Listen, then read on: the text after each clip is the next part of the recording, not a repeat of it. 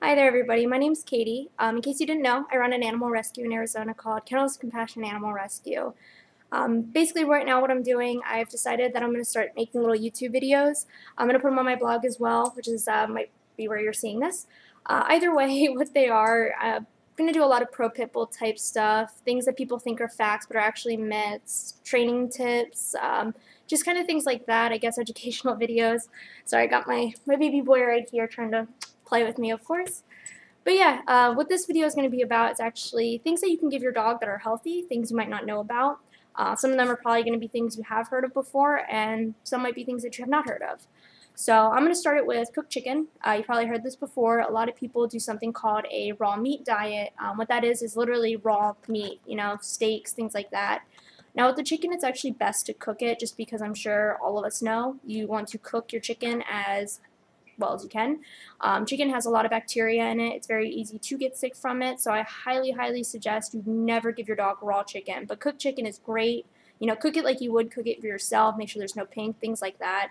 Obviously, don't put any flavors on it. You know, you don't need salt, pepper. You know, it's not for you, it's for your dog, so try and keep that in mind.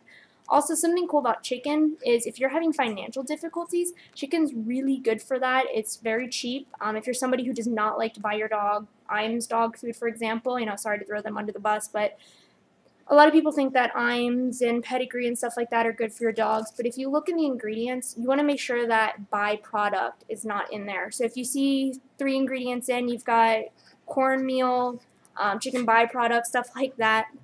That's something that you don't want to get your dog. Um, again, if you're in financial difficulty, sometimes you have to. It's not going to kill your dog, so you don't have to worry about that.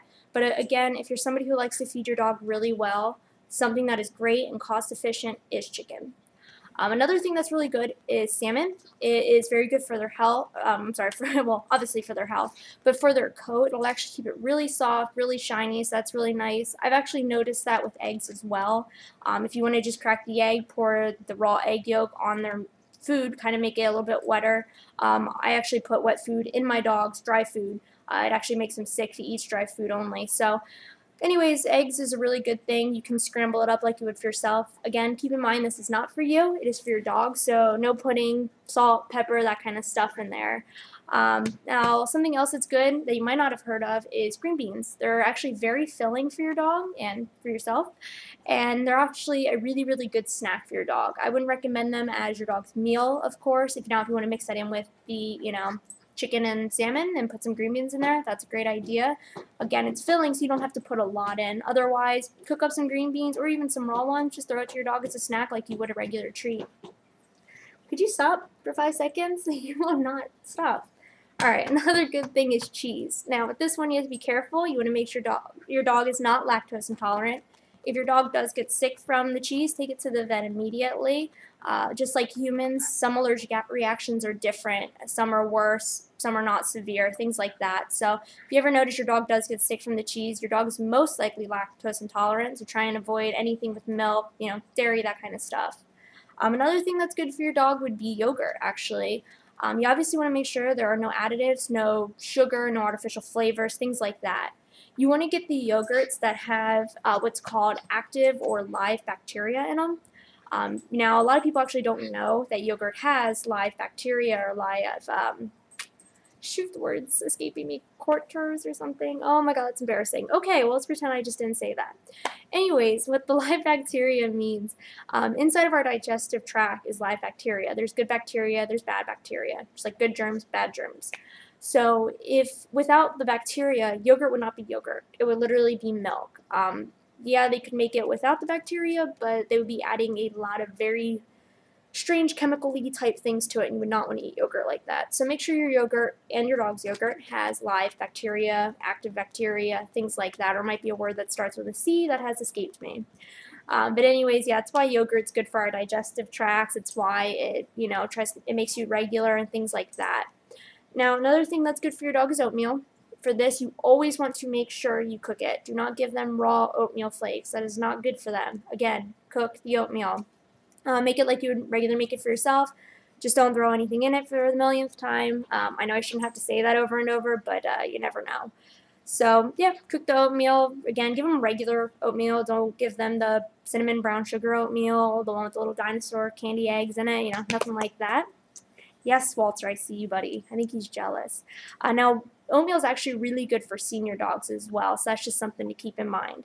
Uh, something you might not know is carrots. A lot of dogs actually surprisingly like carrots too. It's really good for them, and the best part is it cleans their teeth. It gets the gunk off of their teeth, so that's awesome. Helps you so you don't have to actually brush your dog's teeth, which is pretty nice because uh, most dogs do not like to have their teeth brushed. Uh, now just three more things. We've got apple slices, also cleans your dog's teeth, and what's nice is it also makes your dog's breath a lot more fresher. I'm not going to promise that your dog's breath will smell good, but at least it'll smell a lot better. Now, one of the last things is pumpkins. A lot of people don't know this, but pumpkins is actually very good for your dog, um, and it can actually help with digestive problems as well. So if your dog has troubles with that, pumpkin is great. Uh, it's you know Halloween time right now, so this is a great time when you're making your jack-o'-lantern, scoop out some of the pumpkin for your dog. And then lastly is a more common one. It is peanut butter. Um, some people don't know peanut butter is good for their dogs, but it actually is. the best part is it's really good um, for keeping the dog busy. You can just put it in, what I'm putting it in right now is actually an old bone. Um, all the meat's been taken off. Um, another good thing that I have also is a Kong. Uh, Kongs are on the more expensive lev le level. The reason for that, Kongs last a very long time. Uh, the Kong that we have is actually over a decade, over 10 years old, and we still have it. It's got some scratches, maybe like a little itty bitty puncture wound, but nothing that actually even goes through it, and that's with having UKC registered massive pit bulls, a German Shepherd, and a bunch of other dogs. So they really do last. I really, really do recommend them. But um, otherwise, you can actually go to the supermarket. Um, what I have here in Arizona is Fry's, and you can actually get these bones. They'll have the marrow inside. Sometimes they'll have a very thin layer of, of a meat on the outside. Um, generally costs anywhere from three to ten dollars depends on the pack you get and it usually goes by weight like it would any other type of meat you would get in the meat section um, sometimes it's actually in the frozen section for some reason i'm not sure why but uh, that's what my Fry's recently started doing so look in the meat section first. You know, it's really intended for humans. You're supposed to put it in your soup, I believe. I don't know because I've never done it. But um, yeah, they're great for dogs. They're really healthy too. So let's give Walter this and uh, keep him occupied that way.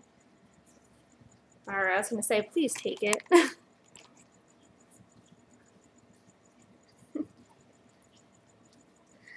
Alright guys, well I'm going to go give Walter some attention because uh, he seems pretty deprived of love right now. So hopefully this video helps you out. Um, hopefully this will give you some ideas of things you can do for your dog. And um, if you have any questions, please feel free to ask me, or you, the best way to contact me actually is on my Tumblr account. It's kennelsofcompassion.tumblr.com. If you don't have a Tumblr, you can leave a comment, and I'll try my best to remember to check it. That's it, everybody. You and your dog have a great rest of your night.